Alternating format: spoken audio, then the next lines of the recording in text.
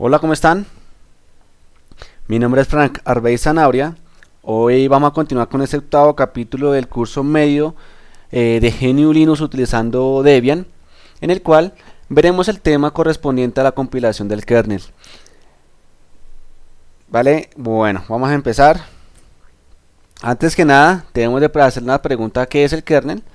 El kernel es aquel software como tal encargado de realizar la comunicación con el hardware de la computadora y la, interfaz que, usa, que se usa a diario, la cual puede ser el Command Line Interface o la GUI, la Graphical User Interface.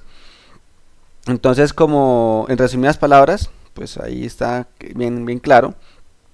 Sin el kernel, nosotros no podríamos eh, interactuar con nuestro sistema no podíamos leer una unidad de DVD, no podíamos escribir dentro de una unidad de DVD, no podíamos escribir, o sea, las tipificaciones que hiciéramos con el teclado no funcionarían, la USB no se, no se entendería, Bluetooth, etc. Entonces, el kernel permite realizar esta interacción, el usuario y máquina, ¿vale? Bueno, en realidad es usuario, esto es usuario, GUI, después de, después de la GUI vienen los programas y los programas se comunican a los, a los archivos que hacen la interpretación del kernel, etcétera cosa que vimos en el, curso básico de GNU Linux el cual lo recomiendo si, están empezando a ver este les recomiendo vean el anterior el anterior curso para que entre con más fuerza a este curso medio vale bueno el kernel se puede descargar de la URL que encontramos ahí www.kernel.org pero también se deben tener en cuenta que se tienen o se deben de tener algunas herramientas como las GCC, los compiladores de C y el comando make para que la compilación del kernel funcione adecuadamente. Eh, depende de lo que se haya a instalar, así mismo se, se establecen las herramientas o las dependencias como tal. Bueno. Eh, normalmente cuando nosotros instalamos una, distribución, lo más básico, sin las utilidades del sistema, en, este momento Debian, si instalamos la utilidad del sistema, tengo por seguro que el GSC y el make no se van a instalar, por ende es requerido o es necesario que se instalen, ¿vale? Eh, lo que vamos a ver solamente nos afecta a Debian, no. El siguiente modo de compilación del kernel, aunque cada distribución tiene sus herramientas para poderlo compilar, la manera que lo vamos a ver a continuación es una manera estándar o genérica en el cual va a funcionar o va a ser similar, por no decirlo igual, va a ser similar en todas las demás distribuciones basadas en Red Hat, basadas en, en, Debian, basadas en, en SUSE. Ok. Bueno, una aclaración, eh, si no, si hacen esta, esta, esta compilación en un computador o un servidor de producción, eh, no nos hacemos responsables por aquellas malas tareas que se vayan a hacer o aquellas malas recopilación de datos que se hagan para hacer la compilación del kernel. Mm, no se preocupen si esto llega a fallarles, si cuando ejecuten el nuevo kernel el sistema no les funciona adecuadamente. Eh, no se preocupen, esto solamente es cargar el antiguo kernel y listo. Lo que permite esto, la compilación del kernel, lo que permite es instalar un kernel nuevo sin desinstalar el anterior. Aunque es, vamos a ver después cómo desinstalar un kernel antiguo, ¿vale? Bueno, pasamos a la parte ya de producción, vamos a ya la parte activa, menos de más acción. Primero vamos a, buscar, vamos a ingresar, vamos a ingresar a la página kernel.org.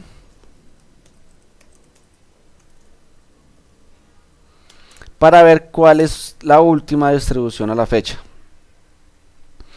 Vemos que el último kernel es el último kernel estable es el kernel 3.16 y acá me dicen las demás versiones que podemos descargar ¿no? el de soporte largo o long, long term los famosos LTS las 3.14.15 el estable que siempre se recomienda descargar el estable no a entrar en temas de versión porque el punto 16 porque el punto 14.15 lo que le indico le recomiendo ver el, curso anterior de GNU Linux básico y ahí tendrán ese tipo de numeración. Bueno, vamos a realizar la descarga. Vamos a darle clic derecho en este momento acá. Vamos a darle a copiar el vínculo. Ya acá yo estando dentro de mi, de mi servidor, entre comillas, dentro de mi máquina virtual. Voy a ingresar al, al, directorio user search, que normalmente donde se encuentra, donde se guardan los kernels. lo descargo con el comando get la opción C para que continúe por si llega a pasar algo. Ahí pues me está indicando que se demora 5 minutos en realizar la descarga. Vamos a parar el video mientras tanto para no realizar esta eh, quema de tiempo vale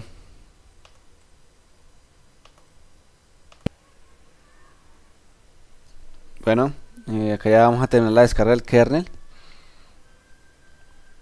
Vemos que el kernel efectivamente pesa 77 megas. Acá. Eh, ahora que los comprimamos pues va a pesar mucho más.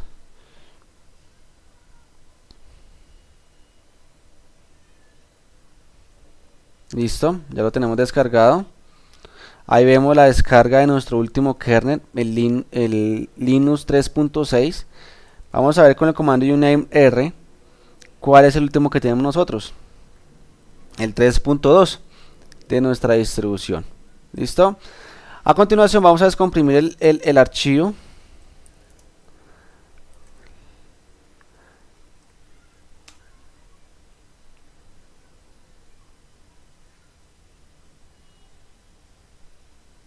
Y vamos a ver eh, las grandes diferencias de, de peso tamaño.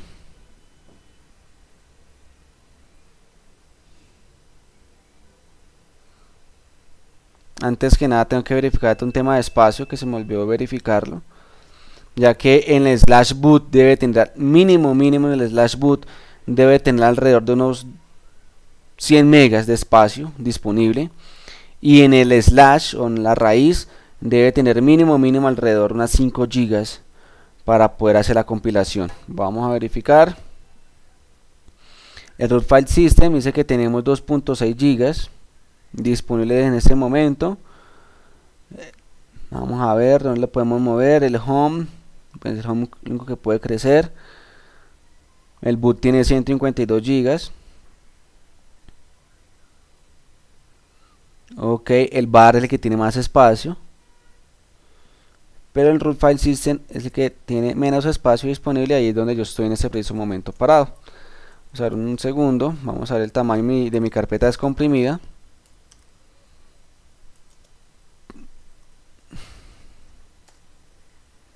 634 megas. Es el tamaño de mi carpeta descomprimida vamos a, ver otro lado. Vamos a, a, nuestro kernel en variable mejor en el bar. Vamos a hacer un mkdir bar kernel. Vamos a mover linux 3.16 a bar kernel vemos que pasamos de 77 megas a un tamaño de 634 megas, ¿vale? Acá lo que estoy haciendo es moviendo el kernel porque recuerden que les acabo de decir que requiero mínimo 5 gigas de espacio disponible para, para hacer la compilación adecuada de mi kernel. La compilación del kernel se debe hacer utilizando el usuario root, ¿vale? Vamos a tener eso muy en cuenta. Listo, ya vamos ya la hemos movido. Vamos a ingresar al bar kernel y ahí lo tenemos. Listo entonces vamos a ver vamos a ingresar. Antes, que, antes de empezar a hacer todo el tema de configure, todo ese tema, se recomienda conocer adecuadamente todo mi sistema. Qué hardware tiene, qué BIOS tiene, qué chipset tiene, qué memoria RAM tiene, los buses de transferencia, la capacidad de mi procesador, la capacidad de mi disco y todo eso, ¿vale? Es importante saberlo. Podemos saberlo con el comando lshw. Conocer algunas de las características de mi sistema. Por ejemplo, por acá debemos ver el tema de, las, la descripción de los, de los sockets, de las tarjetas PSI, eh, de la red, a qué velocidad es, mire, me dice que la capacidad de transferencia es 1 gigabits por segundo, Mm, los USB que tiene, etcétera, el tipo de almacenamiento que tiene. vamos, la idea sería ver adecuadamente todo esto, ¿vale? Con calma, con tiempo.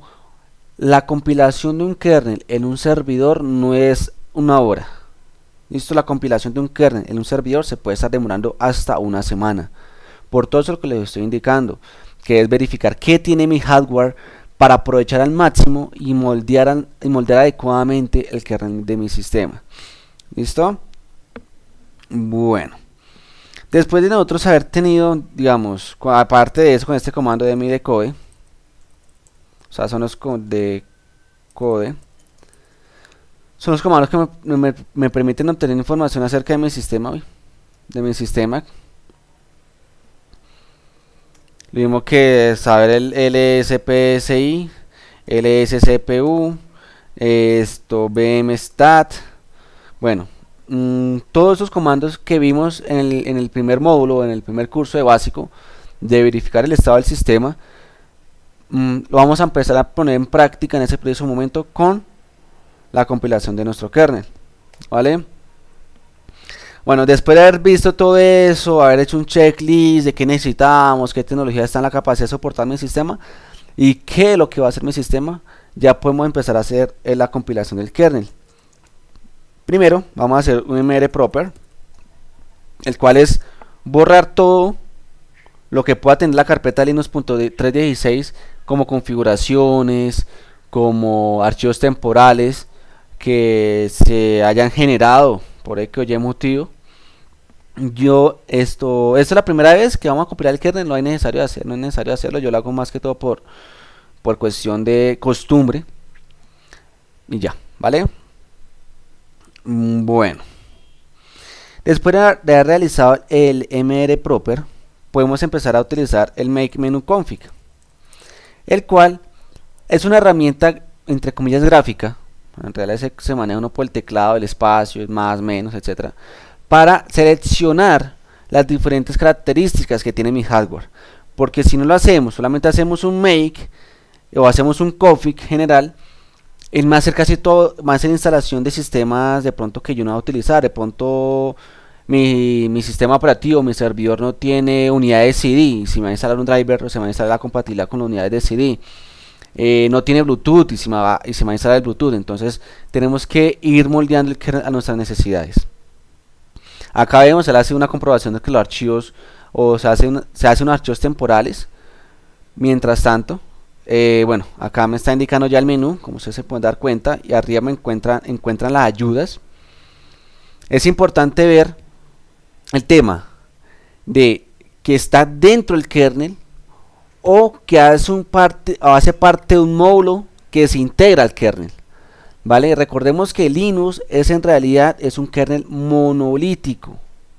¿Vale? Que utilice módulos para funcionar integrados a él no lo hace que sea un sistema modular.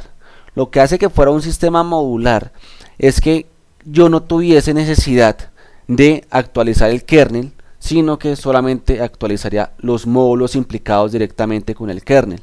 Por ejemplo, los módulos implicados directamente con la lectura de escritura del disco. ¿Listo? Si yo puedo modificar eso por aparte, sin ningún tipo de problema, sin afectación del kernel, sería un sistema modular. Pero en ese momento, es, como les vengo explicando, es un tema monolítico. Que los módulos integran al kernel. ¿Vale? Ya los módulos por aparte, los módulos de BIFAD y todo ese tipo de cosas que son para lectura o, entendimiento de ciertos sistemas de archivos o entendimiento de ciertos de ciertas herramientas es totalmente aparte son por así decirlo son agregados que se le están dando al kernel como tal listo bueno menos chacha y más acción. Acá vamos a ver, primero que todo, que va a ser un kernel de 64 bits. A mí me interesa mucho el tema del network. Vamos a hacer, acá bueno, acá estamos el tema de, el tema de que, de los discos, un digo que primero va a entrar el network. Por ejemplo, acá la parte del WiMAX, que se va a instalar como módulo, a mí no me interesa en realidad. ¿Listo? ¿Por qué no me interesa? Porque en realidad el módulo de WineMax no lo voy a utilizar. ¿Listo? Entonces con la tecla espacio lo selecciono. ¿Listo? Mm, ¿Qué más? ¿Qué podemos ver? Esto NFC Subsystem Support. Tampoco lo voy a instalar, no lo necesito. Uh, wireless. En este momento yo no voy a instalar wireless. O sea, mi, servidor no tiene tarjeta de red inalámbrica. Solamente es una tarjeta de red convencional de, de XYZ. Acá solamente ingresamos y le, le, quitamos la posibilidad de, funcionar con wireless. ¿cierto?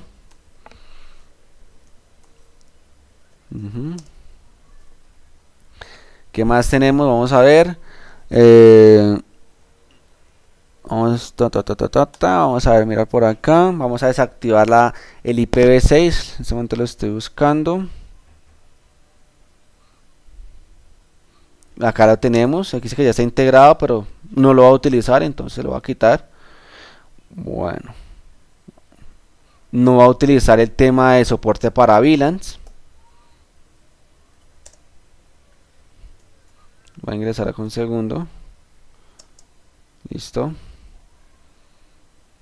Bueno, ahí nosotros vamos viendo qué vamos necesitando, ¿no? Eh, vamos a ver el parte de los file system. Vamos a ver, necesitamos que me soporte todos los sistemas de archivos de, de Linux. Reset File System por si en algún momento yo quiero empezar a utilizar. JFS System, pues obviamente eh, los para soportarlo, XFS.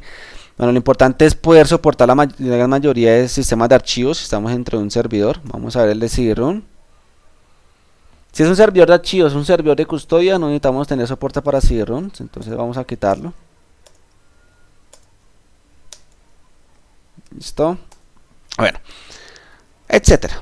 Acá nosotros como vemos podemos ir digamos, el tema de virtualización mm, no es un servidor de virtualización, entonces podemos quitar todos los módulos de virtualización.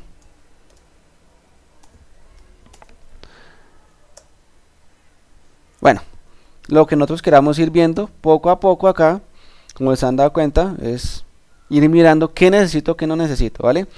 Después de que yo he hecho esto, he hecho la adaptación del nuevo kernel para compilarlo, yo solamente le hago save, con las teclas izquierda derecha me muevo, y arriba abajo espacio enter ingreso selecciono no selecciono. Hago la tecla save. Me dice cómo se desea que llame el archivo de configuración le digo que llame .config. Listo se ha escrito el archivo de configuración ya puede salir. Listo. En este preciso momento ya estamos eh, preparados para hacer la configuración del kernel o hacer la el make para que empiece a recopilar la información y después instalarlo vale ahora hacemos el make. Este proceso es algo demorado vamos a, detenerlo o sea vamos a detener el video durante un, el tiempo que se demora la compilación. Depende de su máquina virtual se pueden estar demorando divinamente una hora dos horas tres horas vale entonces vamos a hacer esto el make. Y mientras tanto que él hace la comprobación de qué paquete necesita y de qué herramienta necesita ya después empezará a generar los archivos temporales como los .doc que ustedes ven ahí. Vamos a esperarnos, hay unos... Acá me está indicando que está instalando tipo módulo. Bueno, ahí ya estamos viendo un momento, ¿vale? Bueno, vamos a colocar un, tiempo, un momento en pausa el video mientras tanto que termina la compilación. Ok, acá ya hemos terminado de realizar con el comando make al kernel. Ahora falta hacer el make módulos.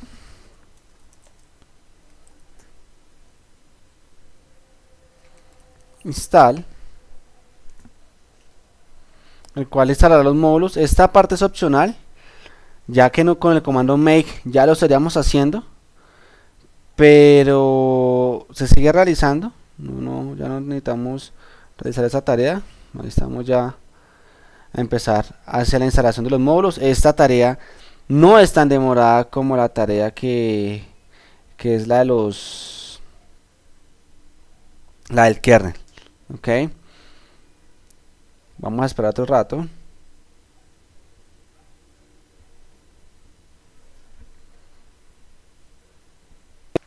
Ok.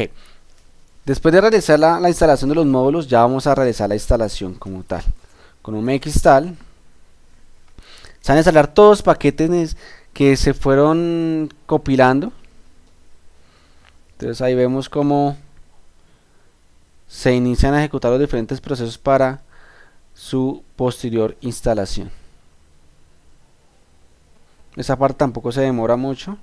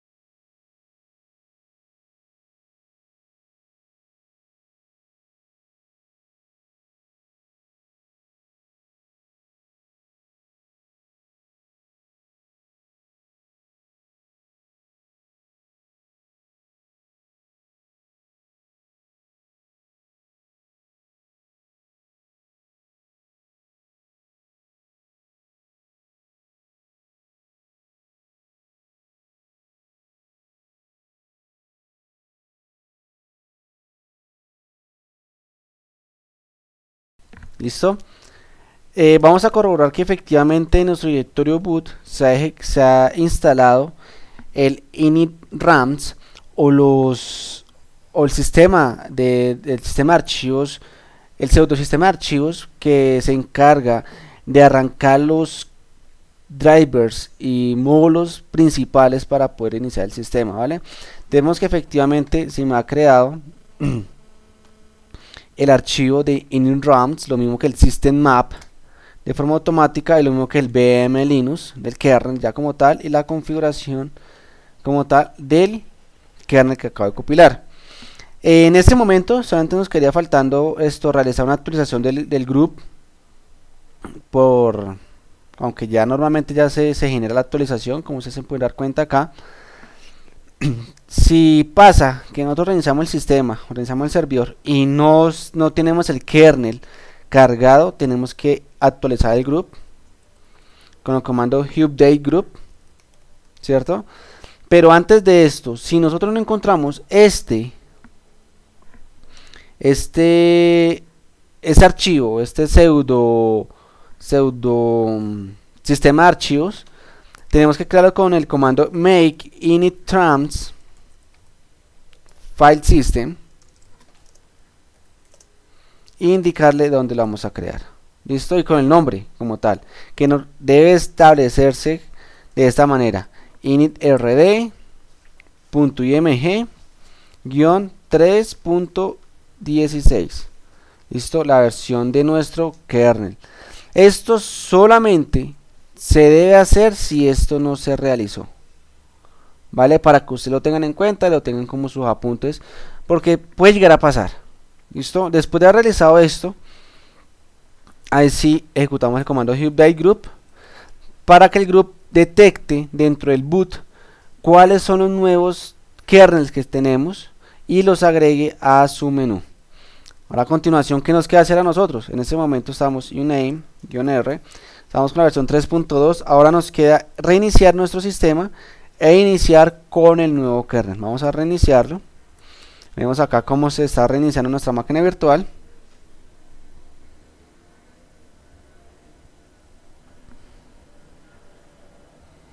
Vamos a ver que cuando arranca el group ya encontramos el antiguo y el nuevo. Ya solamente seleccionamos el nuevo para arrancar. Vemos que ahí tenemos el antiguo. porque todavía conservamos el antiguo? Nosotros lo conservamos siempre y cuando el que acabamos de compilar no está funcionando adecuadamente. Listo, vamos a estar pendiente mucho de la, del arranque del sistema. Vamos a ver que tenemos ya el primer error.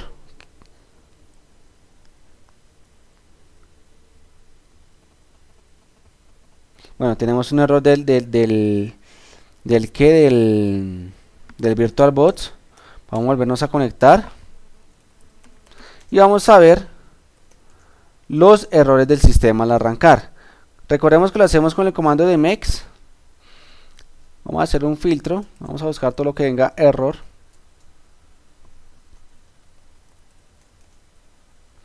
Tenemos un error, bueno, no es un error en realidad.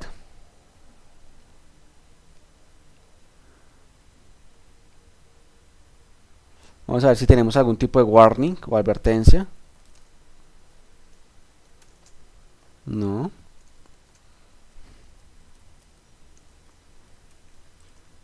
No, no tenemos ningún tipo de advertencia. Excelente. Si damos un name, R, vamos a ver que ya estamos ejecutando el kernel 3.16. Allá tenemos trabajando nuestro respectivo kernel nuevo en nuestro servidor con las características que nosotros en realidad necesitamos. Ok. Bueno, a continuación vamos a proceder con la respectiva desinstalación del kernel antiguo.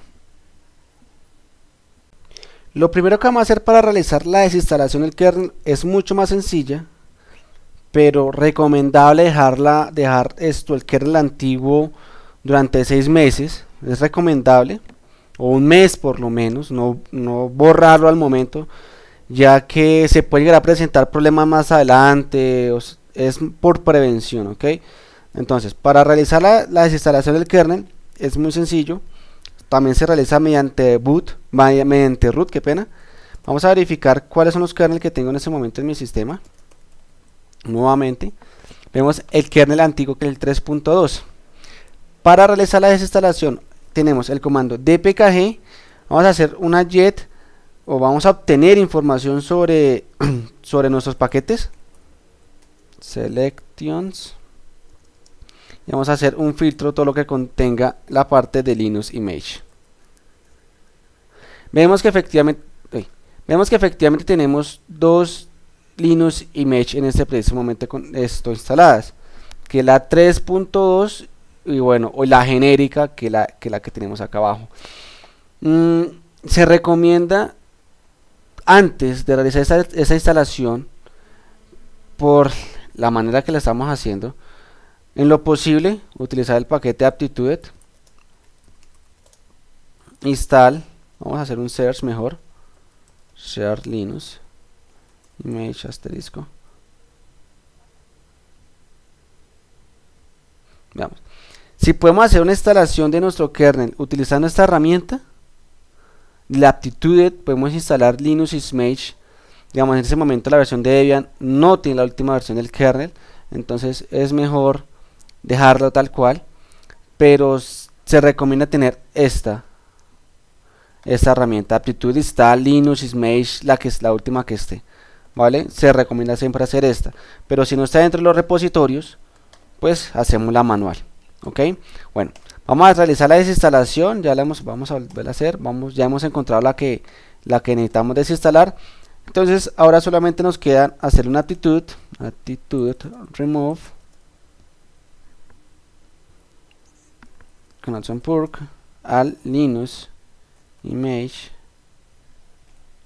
3.2.0.4 ¿sí? no, guion 4 guion 4 AMD64.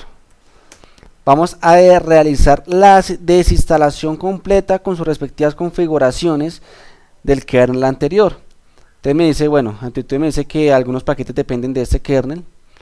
De KMS, bueno, es un paquete de, del, del VirtualBox principalmente para poder hacer virtualización. Dice que si acepto la, la solución, digo que sí. Vamos a realizar la desinstalación completa del kernel y ya procederá a realizarse la desinstalación.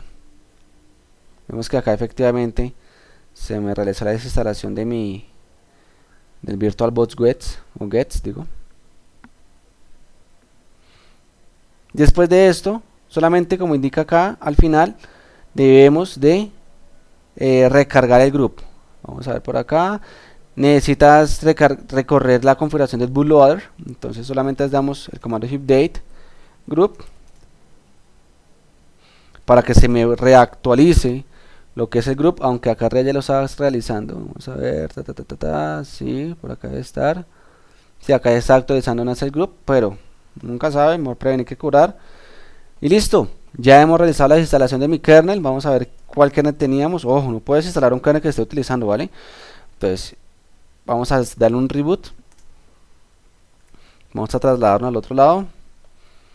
Vamos a ver, cuando arranque mi sistema vamos a ver que efectivamente se ha eliminado el otro kernel ya solamente me queda el kernel el actualizado y ya nos podemos conectar nuevamente por SSH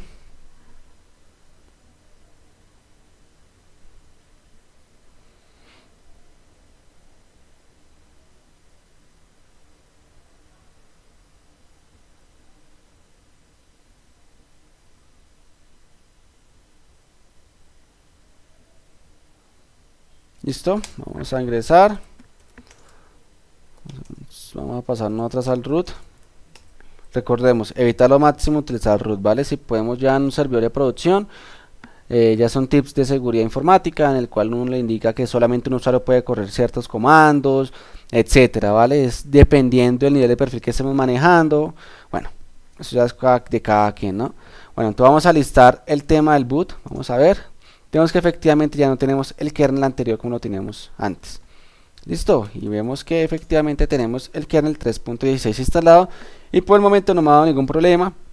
Vamos a ver. Tenemos allá ah, exactamente todo. tenemos el radiactivo. ¿Listo? O sea, en este preciso momento lo tenemos bien mi sistema. Bueno, no es nada más por el día de hoy. Fue un placer haberlos acompañado. Recuerden que mi nombre es Fernando Sanaria Flores. Eh, recuerden seguirnos en, o me pueden seguir en arroba Frank Sanabria en Twitter. A Sujik en Twitter lo pueden seguir como arroba Sujik. En Facebook encuentran a, a Sujik como también lo mismo, Sujik. ¿Listo? Eh, les invito a que compartan el video, que compartan los cursos. Recordemos que esto es, una, esto es la manera que hacemos llegar más conocimiento a, más gente. Eh, darle me gusta, como les digo, compartir, comentar. Los invito a todas estas actividades o a todas estas interacciones con nosotros, ya que esta es la manera como nos, nos, nos, nos incitan a seguir realizando estos videotutoriales, ¿vale? Bueno, no es, nada, no es nada más por el día de hoy, que pasen un lindo día y fue un placer haber compartido tiempo con ustedes. Hasta una próxima ocasión.